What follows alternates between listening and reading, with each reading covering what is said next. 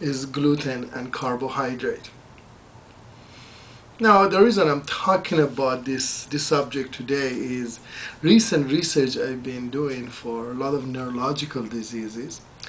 It, it brought me to two specific books. One is called Molecule of Emotion and one is called Grain Brain.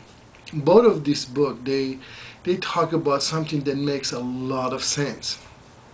Number one, that all these neurological diseases that we see around, like Alzheimer, di- uh, Parkinson, and MS, most of them related to our diet. And the book that I read about molecular emotion, it was a discovery of that brain also produces insulin. Why is that? Because our brain nervous system is the biggest consumer of glucose brain converts glucose to energy. 80% of glucose in the blood first goes to the nervous system. So when this conversion of glucose to whatever brain needs uh, as a form of energy, when this interfere with, uh, there's a lot of these neurological diseases happen. So two basic summary that I want you to think about. Number one, if if we have high glucose, like high sugar, we have diabetes. Same thing happen in our brain.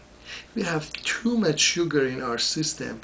We create some type of we call diabetes of the brain. Now, why carbohydrates do that? Because overconsumption, we produce over consumption or uh, overproduction of insulin when we interfere with that system. For detail, go to the book and explains it a lot better than me.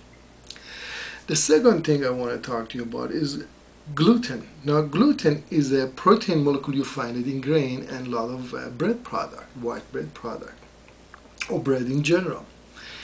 Now, usually when we talk about gluten, we talk, we're thinking about people who have celiac disease.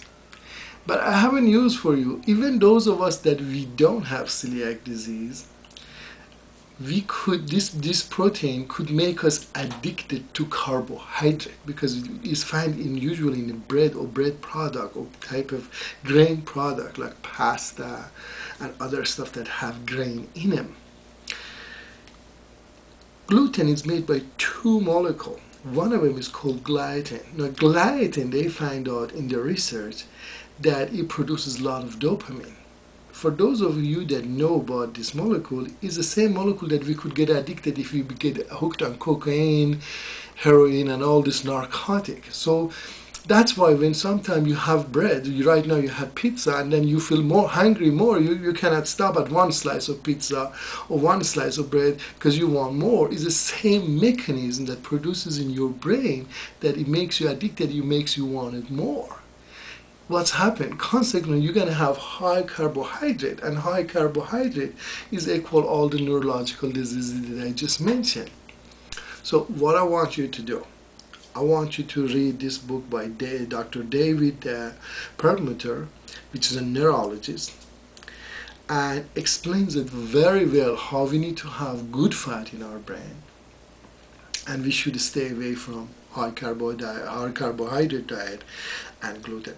Now, I don't agree with everything he says in the book. As you know, I'm more into raw vegan uh, type of diet. I'm not against high fat, especially good fat like flaxseed and uh, and coconut uh, oil, but I'm against a lot of animal fat. So I don't completely agree with him, but I agree with 90% of stuff that he's talking about.